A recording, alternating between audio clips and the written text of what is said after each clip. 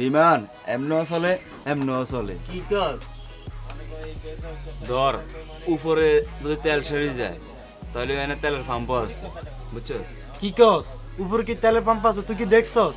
আর দেহি নাই আমি শুনছি।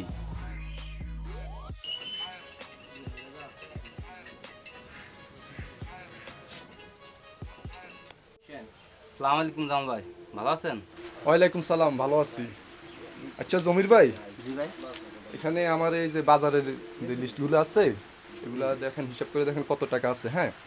আর এগুলা সবগুলা রেডি করে আর যত টাকা বিল হয়েছে একটা স্লিপ দিয়ে আমার বাড়িতে একটু পাঠাই দিন কষ্ট করে হ্যাঁ? ঠিক আছে ভাই। আচ্ছা আসি ঠিক আছে হ্যাঁ?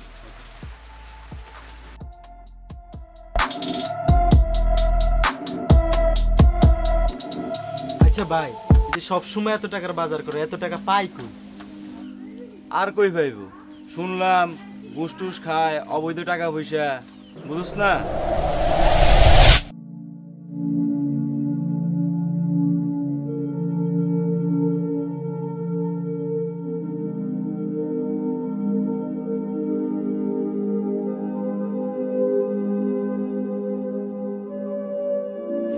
আসসালামাইকুম জামাল ভাই। ওয়ালাইকুম সালাম কেমন আছেন? ভালো আছেন। ভালো আছি। কোথা থেকে আসলেন জামাল ভাই? এই তো ভাই একটু দোকান থেকে আসলাম। আচ্ছা ভাই একটা কথা বলব কিছু মনে করবেন না? হ্যাঁ বলেন। শুনলাম আপনি নাকি ঘুষ খান অবৈধ টাকা কামান অফিসে। কথাটা কি সত্যি নাকি? কে বলছে এইসব কথা? আপনারা যান সামনে থেকে যান।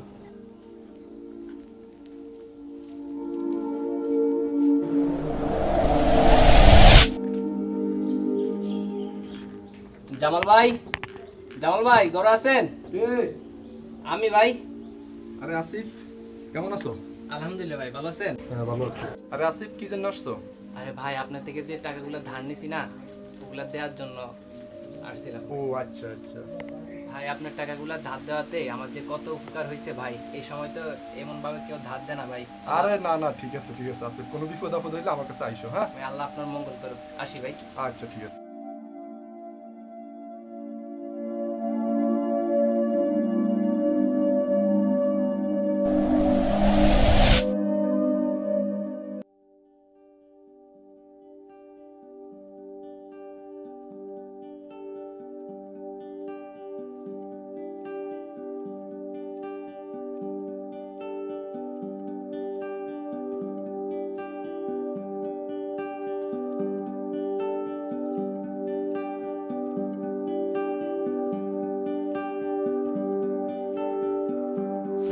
সালামু আলাইকুম।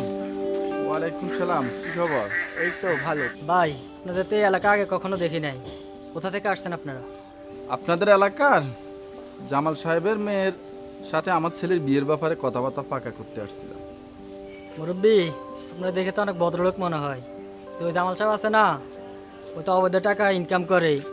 খারাপ পথে চলে তারপর যে এলাকা অনেক বদনাম ঘুষ খায়। তো ওনার সাথে তো আপনার যায় না। তো কি করবেন? ওনার সাথে কি আপনার ছেলের সম্পর্কটা করবেন নাকি? কি বলেন? তাহলে তো ওনার মেয়ের সাথে আমার ছেলের বিয়ে দেওয়া যায় না। হ্যাঁ মুরব্বী এখানে সম্পর্ক না করাটাই মনে হয় ভালো হবে। বাবা আসলে তোমাকে কি বলে যে ধন্যবাদ দেব? তো আমাকে অনেক বড় একটা বিপদ থেকে বাঁচালে আমি আর আমার ছেলেকে এখানে বিয়ে দেব না। ধন্যবাদ দেওয়ার কিছু নাই যা সত্য তাই বললাম আপনাকে। ঠিক আছে বাবা। তাহলে আসি আমরা হ্যাঁ? আচ্ছা আচ্ছা ভালো থাকেন ঠিক আছে ভালো থাকবেন হ্যাঁ?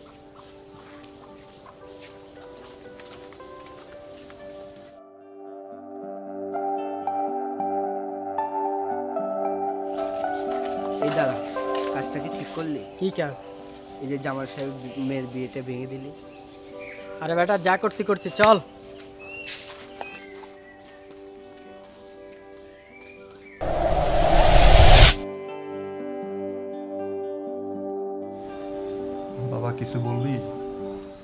তুমি কি সত্যি ঘুষ খাও? তুমি কি সত্যি অবধি টাকা ইনকাম করো? তোমার জন্য আজকে আপুর বিয়েটা ভেঙে গেল। না বাবা তোমাকে এসব কি বলছে? বাবা বাইরে সবাই বলা বলি করতেছে। আচ্ছা বাবা ঠিক আছে তুমি যাও।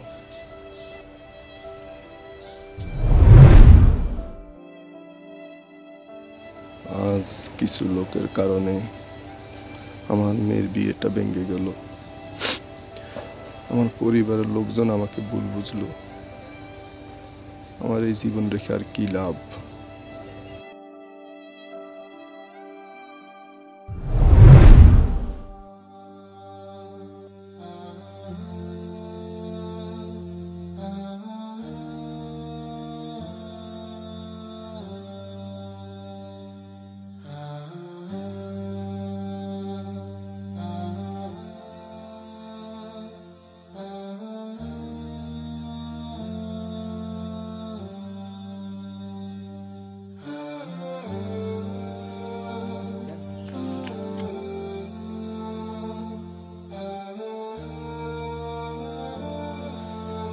ব্যাপার কি হয়েছে হুজুর সর্বনাশ হয়ে গেছে হুজুর। হ্যাঁ। ওই জায়গায় কে জানি ফাঁসি দিতেছে। ওখানে? চলো দেখি।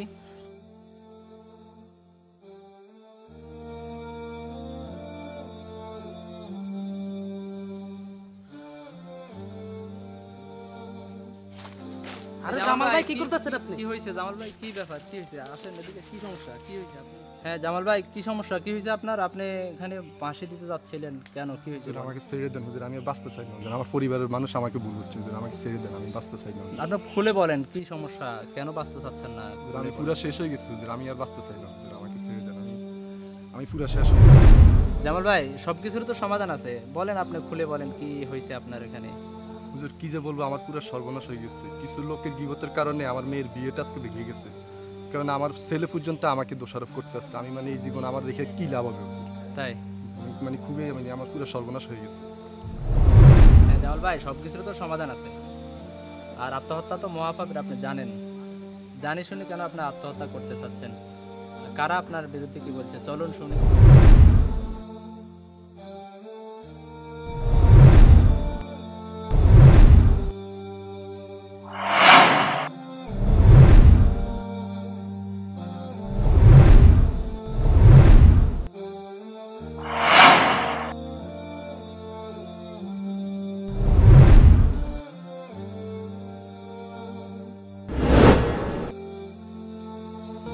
ঠিক আছে চলেন দেখি।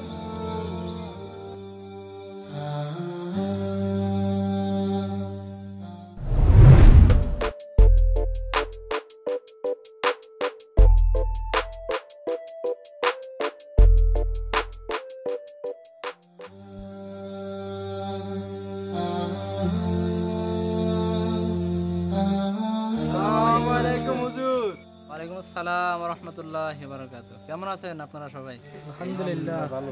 জি ভাই আপনি জানেন গিবত কত বড় মহাপাপ এবং কত জঘন্যতম অপরাধ। আপনার গিবতের কারণে জামাল ভাইয়ের জীবনে দুঃখ দুর্দশা নেমে আসলো এবং ওনার আহ, পরিবারের কত বড় একটা ক্ষতি হয়ে গেল ওনার মেয়ের বিয়া ভেঙে গেল এবং উনি নিজেও আত্মহত্যা করার জন্য মানসিকভাবে প্ল্যান করল। আসলে গিবত করা হচ্ছে মৃত ভাইয়ের গোস্ত খাবার সমান। এটা এমন একটি জঘন্যতম পাপ। তো আমাদের উচিত এই কাজ থেকে ফিরে আসা। আর আমরা সবাই জানি যে সুরা হুমাজাতে ওয়াইলুল্লি কুল্লু হুমাজাতিল লুমাজা।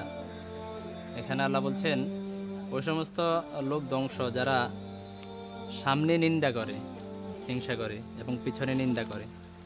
তো এছাড়াও আল্লাহ রাসুল সাল্লাহ আলাইসাল্লাম বলছে যে আল মুসলিম ও আকুল মুসলিম, মুসলমান মুসলমানের ভাই। তো একজন ভাই হয়তো আরেকজন ভাইয়ের ক্ষতি করা যায় না গিবোধ করা যায় না। আর আমরা যদি ওই আয়াতের দিকেও তাকাই সেখানেও আল্লাহ বলছে ওই সমস্ত মানুষের জন্য ধ্বংস। তাহলে আমরা হাতে ধরে নিজের ধ্বংসটা তো নিজে করব না আর অন্যের ক্ষতি করব না। যেহেতু মুসলমান মুসলমানের ভাই আরেকজন মুসলমানের ক্ষতি করা সম্মানিত লোকদেরকে অপমানিত করা এগুলো কোনো মুসলমানের কাম্য নয়। আমরা সংশোধন হওয়া উচিত। আমাদের ভুল হয়ে গেছে আসলে। আমাদের এখন করা উচিত হয় না জি এখন হয়তো জামাল ভাইয়ের কাছে আপনারা ক্ষমা চাইতে হবে এবং জামাল ভাইকে উৎসাহ দিতে হবে যে এই ধরনের কাজ আমরা আর করব না। আমরা মিলেমিশে বাই হয়ে একে অপর সহযোগিতা করব একে অপরের কল্যাণে কাজ করব। জামাল ভাই ওরা তো ওদের ভুল বুঝতে পারছে। এখন ওদেরকে ক্ষমা করে দেন মাফ করে দেন ওদেরকে। ওরা- ভুল গেছে আমাদের ক্ষমা করে দেন। জামাল ভাই বড় ভুল হয়ে গেছে আমাদের ক্ষমা করে দিন। হবে না মাফ করে দিয়ে জামাল ভাই।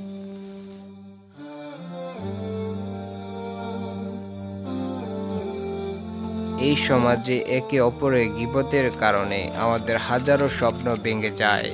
গিবদ একটি জঘন্য অপরাধ। সমাজে একে অপরের পিছনে নিন্দা বা গিবদের কারণে পারিবারিক অশান্তি সৃষ্টি হয়ে থাকে।